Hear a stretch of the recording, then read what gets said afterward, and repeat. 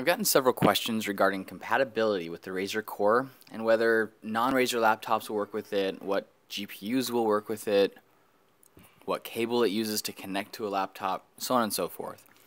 I don't have all of the USB Type-C laptops to test, but I can at least arm you with the information to look for when considering whether your laptop of choice works with the core or not.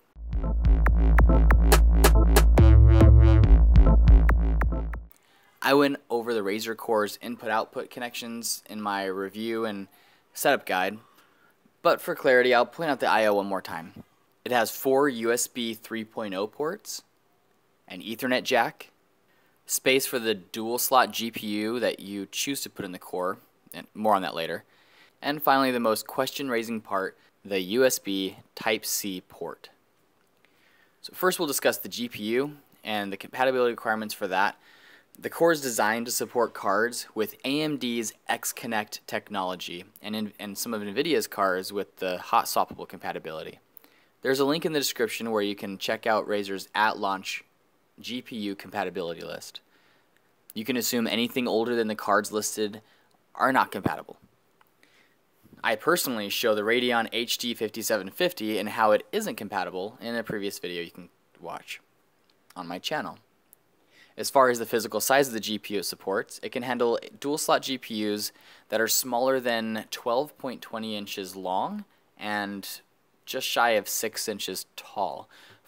The Razer Core comes with a 500 watt power supply, and 375 of those watts are used for the GPU alone. With all of the newer graphics cards having a much lower uh, TDP or power draw, um, they that should never become a problem. If it tells you anything, my EVGA 980 WindForce card fits the core with room to spare.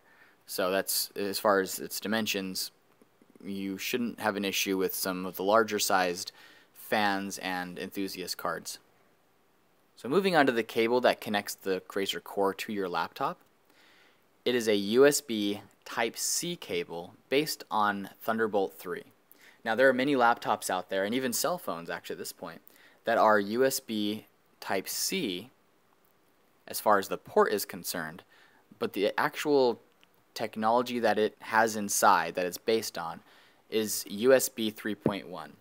The USB 3.1 connection is much slower than the Thunderbolt 3 and would not be able to support the data speed requirements for an external GPU. So you'll need to check your laptop specifications to see if it is a USB Type-C port and whether or not it is based on the Thunderbolt 3 connection. Now as far as laptop requirements go, will my laptop be compatible with the core? Razer specifically said that the Razer core is only designed by them, as far as they are concerned, for Razer laptops. That being said, they use an industry accessible technology to accomplish this, which is the Thunderbolt 3 connection and, and hot swappable GPUs. So which what this means is that other laptop manufacturers could take advantage. In the link below, there's a, there's a great article that talks about their experience and trials with getting Dell's XPS 15 and the Razer Core to work together. In summary, it looks like you have to make sure all of the drivers are up to date on both the laptop paying specific attention to Thunderbolt 3 drivers and the drivers on the for the GPU that you intend to put in the core.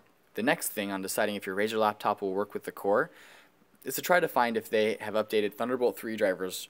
It is up to man the manufacturer to make sure that this works on their system.